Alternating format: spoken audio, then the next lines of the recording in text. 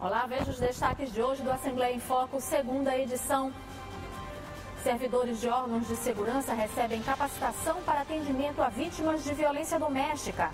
Programa da Secretaria de Estado de Meio Ambiente ajuda a incentivar o reflorestamento de áreas desmatadas. Maranhão registra um aumento de mais de 100% no percentual de condutores com restrições na carteira de habilitação. E o movimento de turistas que aproveitam as férias de julho para conhecer o estado. O Assembleia em Foco, segunda edição, está começando.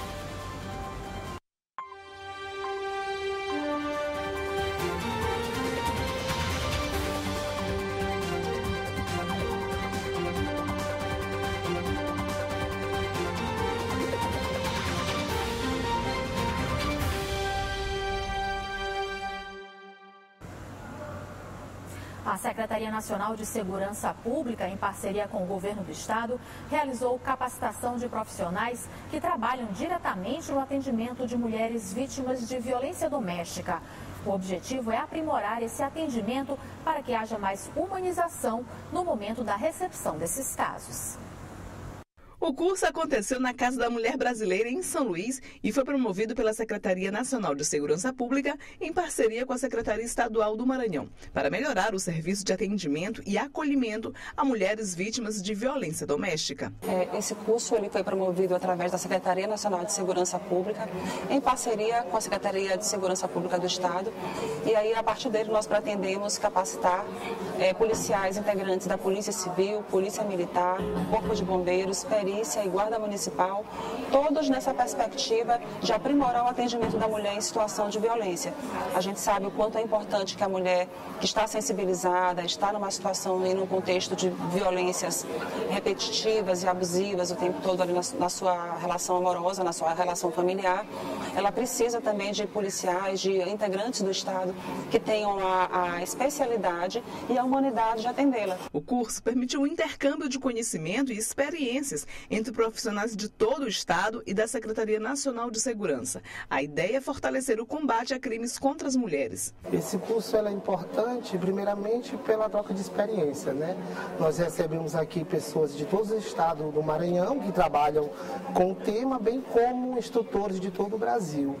E o assunto, né, o tema é violência contra a mulher, está sempre em atualização. A gente teve várias inovações legislativas nos últimos anos e então essa troca de experiência, essa troca de conhecimento, é, essas inovações, elas são importantes para a questão da nossa atuação né, na área, nossa atuação diária. O diretor do INCRIM de Imperatriz destacou a importância do curso que vai aprimorar o atendimento às vítimas. Estou aqui hoje não apenas como diretor do INCRIM, né, mas representando toda a perícia oficial da região Tocantina.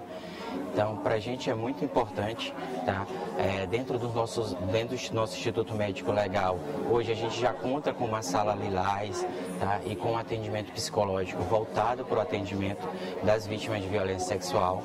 Né? E estar nesse curso é uma reciclagem, leva a gente a ter mais conhecimento, conseguir ter um olhar mais humanizado, tá? E bem como conseguir entender dentro da prática legal o como a gente pode aprimorar a nossa prática. Um programa desenvolvido pela Secretaria de Estado de Meio Ambiente está incentivando o cultivo de plantas nativas no interior do estado. A ideia é, além de geração de emprego e renda, ajudar no reflorestamento de áreas desmatadas. A cidade de São Bento, na Baixada Maranhense, pode ser o ponto de partida para uma virada verde, ecológica e sustentável. Lançado pela Secretaria de Estado do Meio Ambiente, o programa Floresta Viva Maranhão surge como incentivo ao cultivo de espécies nativas. Com isso, traz oportunidades econômicas para quem vive no campo e ajuda no reflorestamento de áreas que foram desmatadas. A primeira etapa do Floresta Viva já está em andamento e de cara com a instalação do maior viveiro público do Brasil.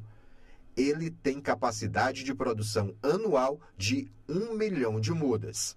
O carro-chefe desta etapa é o cultivo da jussara ou açaí, fruto nativo com grande potencial para fortalecimento da cadeia produtiva na Amazônia Maranhense tem como objetivo recuperar áreas degradadas no estado do Maranhão, assim como também promover a bioeconomia no estado. fazer com que a gente comece a ver que a nossa biodiversidade é muito rica e com isso consiga trazer esses produtos da bioeconomia para gerar emprego e renda para a população, que é o que está acontecendo aqui no município de São Bento.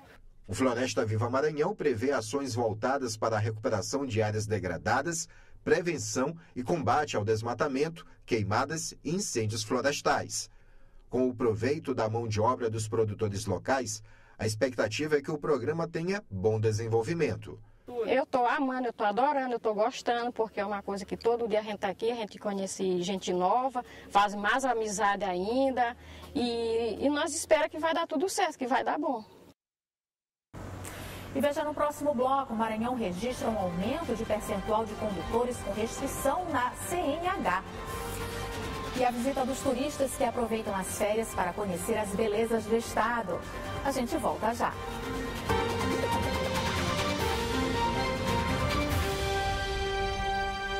Um levantamento feito pelo Conselho Brasileiro de Oftalmologia, com base nas informações do Conselho Nacional de Trânsito, aponta um aumento de mais de 100% nas restrições visuais notificadas nas carteiras nacionais de habilitação do país. O repórter Joelson Braga tem mais detalhes sobre o assunto. O Maranhão teve aumento de 102% no percentual de condutores com restrições na CNH, Carteira Nacional de Habilitação, por conta de problemas oculares. Os dados foram divulgados pelo Conselho Brasileiro de Oftalmologia, CBO, com base em informações da Secretaria Nacional de Trânsito, Senatran. De acordo com o levantamento, as restrições visuais respondem por 91% de todas as anotações aplicadas a um total de 27,9 milhões de CNHs emitidas no Brasil.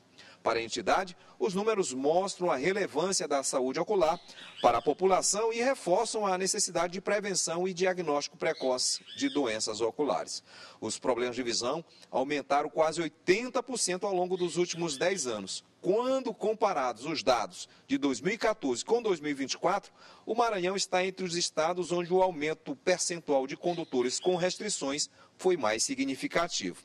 O caso chama atenção porque algumas doenças oculares podem reduzir a visão periférica e prejudicar a capacidade de julgamento de distância e velocidade para quem conduz um veículo. E isso compromete a segurança de todos envolvidos no trânsito. Joelson Braga, para a TV Assembleia. E daqui a pouco tem Dentro da Área, que hoje vai falar de Sampaio, Moto e Maranhão e também sobre a vistoria que a Comebol fez no Castelão para a eliminatória da Copa do Mundo de Futebol de 2026. Greg e Dani dão recado.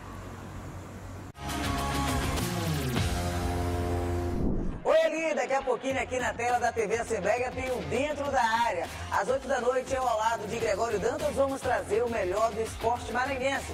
Destaque hoje para o Sampaio Basquete, que está a um passo de garantir o tetracampeonato da LBF 2024. Vamos falar também de Castelão, receber a vistoria da Comebol, para saber se vai poder receber o jogo entre Uruguai e Brasil no mês de novembro. E a gente vai falar também de muito mais coisas, né, Greg? É verdade, a gente vai falar muito sobre futebol, rapaz, o desempenho dos nossos times, né, na Série D e na Série C do Campeonato Brasileiro. Pela Série C, o Sampaio ganhou lanterna aqui em São Luís por 2 a 0 e saiu da zona de rebaixamento. Pela Série D, o Maranhão Atlético Clube ganhou o River fora de casa, lá no Piauí, bom resultado, e garantiu pelo menos momentaneamente a primeira colocação do grupo A2 da Série D. Já o Moto Clube de São Luís aí não deu certo não, viu, Dani? O Moto inventou de perder em casa do Altos do Piauí, perdeu por 2 a 1 e se complicou bastante em termos de classificação para a próxima fase, do mata-mata da quarta divisão nacional. Tudo isso e muito mais, às 8 da noite, aqui na tela da TV Assembleia. A gente espera vocês, gente. Até mais.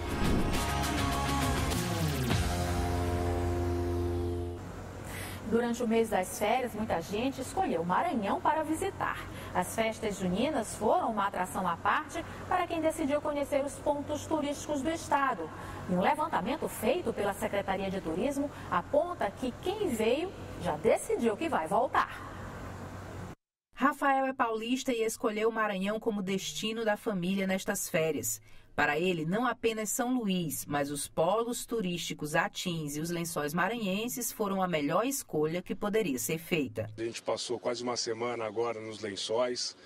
ah, em Atins, em Santo Amaro, e posso afirmar que é um dos lugares mais bonitos do Brasil, se não mais bonitos do mundo. Parabéns. O interesse do público pelo Maranhão aumenta no período junino, consolidando o estado como um dos principais destinos turísticos do São João. É o que mostra a pesquisa realizada pela Secretaria de Estado do Turismo. O estudo do Observatório do Turismo do Maranhão revela ainda que, apesar do São João ser um atrativo, a maioria dos viajantes está em busca de lazer e que 94% dos turistas demonstram interesse em retornar ao estado. Quando a gente chega a esse momento, que nós estamos com um fluxo bem grande de turistas e que 94% está falando que pretende voltar ao Maranhão, nos fortalece muito mais o nosso trabalho e também novas estratégias de buscar. De buscar o que, que nós vamos ter até o final do ano, como é que nós vamos estar divulgando esse trabalho? Ainda de acordo com a pesquisa do Observatório do Turismo, cerca de 20,48% dos turistas que visitaram o Maranhão vieram de outros estados. 37,50% estava acompanhada de amigos.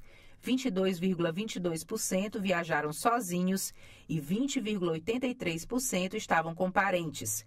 Felipe e Sandriane estão na capital pela segunda vez e agora trouxeram os familiares para conhecerem a Ilha do Amor. A gente tinha sempre um sonho de conhecer, a gente conseguiu realizar isso há dois anos atrás e aí a gente retornou agora com a família já para mostrar os lençóis que a gente conseguiu passear, é uma imensidão, um local que a gente fica até emocionado falar quando chega na, em São Luís.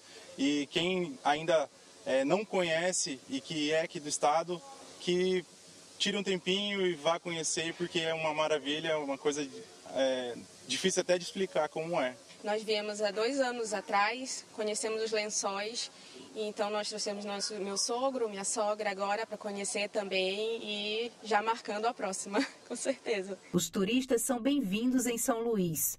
Vários centros de atendimento espalhados pela capital oferecem recepção calorosa, com locais instagramáveis e informações necessárias em formatos acessíveis, como telas, mapas físicos e virtuais, folhetos e guias turísticos. Este agente de informação do CAT do Espigão Costeiro da Ponta da Areia, um dos pontos turísticos da capital, disse que a procura pelos melhores destinos começa no aeroporto. Ele também nos apresentou um mapa virtual com detalhes turísticos do nosso estado, que pode ser acessado através do QR Code. A questão dos mapas também, que é um guiamento muito que eles procuram muito, principalmente no aeroporto e centro histórico, né? Porque é, através desses mapas já tem os pontos sinalizados, onde eles vão já se direcionar aqueles pontos, né? Ou até mesmo a gente marca no, no próprio mapa aqueles que não ainda estão sinalizados, né? Indicando para que eles possam fazer a visitação. Mesmo quem já conhecia o Maranhão ou quem vem pela primeira vez, leva na memória as belezas encontradas por aqui e a certeza de querer voltar lugares que são lindos, né? São lindos. A gente visitou o Palácio do Governador, o, a, se não me engano, a casa da, da, do prefeito. Vi, é, a, a, gente é, enxergou a orla, que é linda demais, né? Mas a nossa grande expectativa é conhecer Lençóis Maranhenses, que vai ser inesquecível essa viagem. Meu pai já mora, é, nasceu aqui, né? Na verdade. E aí eu já, praticamente faz 20 anos que eu não venho para cá. E aí surgiu essa, esse momento, né? De voltar para onde eu nasci e aqui a recepção é maravilhosa. E eu tenho minha prima que mora aqui em São Luís e ela já me apresentou alguns lugares que são magníficos aqui em São Luís. E daqui a gente vai para o interior de Santo Inês e a gente está com a esperança né, é, de ir para Lençóis Segunda, que é um lugar fantástico, né, que só aqui em São Luís tem. E eu tô amando aqui a recepção, cada pessoa que aparece na rua, eles é, te recepciona bem, e aí, tá tudo bem, com um sorriso no rosto, eu acho que isso não, não tem preço, né? É, quer dizer que eu acho que eu vou voltar mais vezes aqui. Fantástico. E o F2 fica por aqui. Uma ótima noite para você. A gente volta a se encontrar amanhã. Até lá!